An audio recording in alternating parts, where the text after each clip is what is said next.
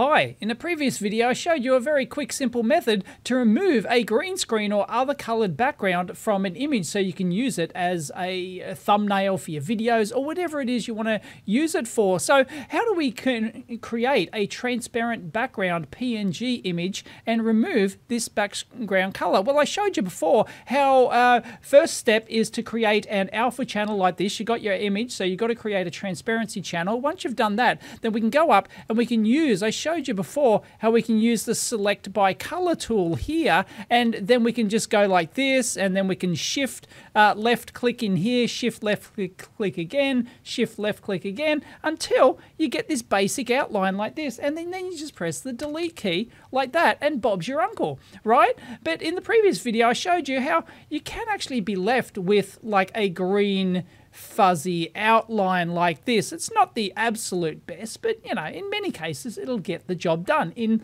like two seconds. But if you want to fuss around and get rid of this green outline around here, I'll show you how to do this. So there's another way to actually do this selection. Instead of using the uh, select by color, you can actually use the fuzzy select tool. Just press U like this, and once again, you just left click in here. It hasn't uh, done any selection in here, so you hold down shift and let left click again, and then you do a similar sort of thing. You just left click until you get rid of all this. And you can see that fuzzy select a little bit down in there. Fuzzy select is done a reasonable job. But you can see that, you know, it's still left like a green sort of halo outline. So if you press delete like that to remove the background, then you do have that background, that green fuzzy outline. So how do we get rid of that? Well, in both the uh, fuzzy select and the select by color tool, you have a feathered edges option like this. So you can actually enable this and you can just go a slide bar like this and you don't want a high value say a low vet this is like number of pixels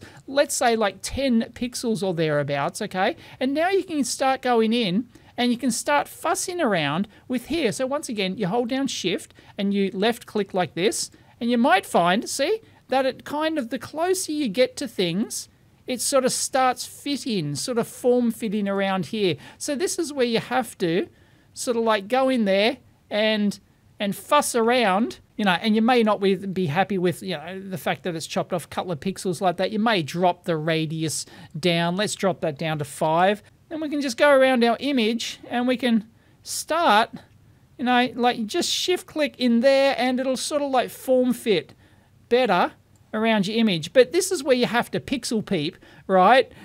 pixel peeping can ruin your life. Um, and, but you can go in there and you can see how it's still got that bit of green fuzz around my face there. We can sort of maybe get in there. And once again, you've got to shift click and sort of go around the edge and you can just tighten that up a bit.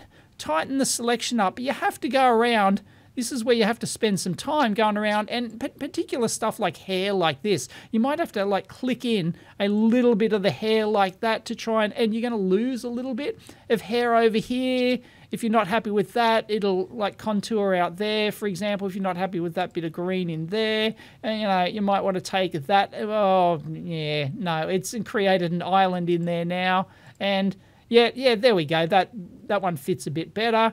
And uh, what, what about the fingers up here? Yeah, it's form fitted my finger pretty good. I'm not going to fuss too much over that.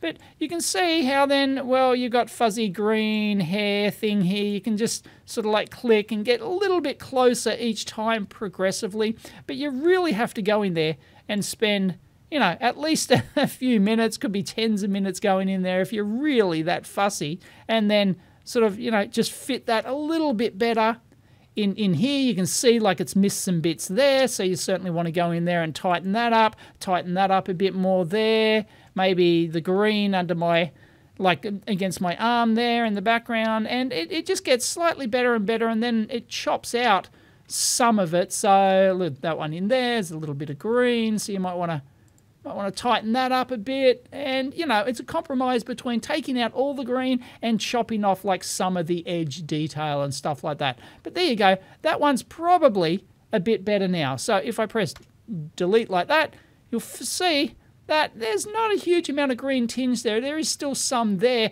And you can probably see some green, uh, sort of like slight green matrix looking tinge on my face here on my skin Um, so that would be like reflection if you don't light your screen properly and you get reflections onto your skin and, and stuff like that. Then yeah, so it you know you can go in there and you can pixel peep even more. But that's how that's a slightly better job. You can still see up up here with the hair and stuff like that. So you might not be happy with that. So you just undo and then you just shift click to get rid of that a little bit more. And then you can get rid of those little islands in there and stuff like that. You know, you can really start to get a bit picky with this sort of stuff. So pixel peeping can ruin your life, but you can get a slightly better result. So there you go.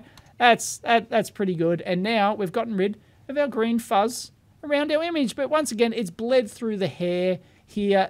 Like, yeah, there's like, I'm not a professional image editor. So, you know, I, I could go in there and do that a bit better. But that's a slightly better than what we had before. Uh, if we just spend a few more minutes in there, just tweaking the edges using the feather uh, radius tool. And as I said, that's available in both this fuzzy select up here and the select by color as well. You can also feather the edges. And then, of course, if you want to export it, you just go export as and you save by type PNG. So we select PNG like here, we export and then we can replace and then we can just save the defaults here, export, and that's created our transparent PNG, which we can then use uh, to overlay for our thumbnail or whatever you want to use it for. So there you go. Hope you found it useful. If you did, give it a big thumbs up.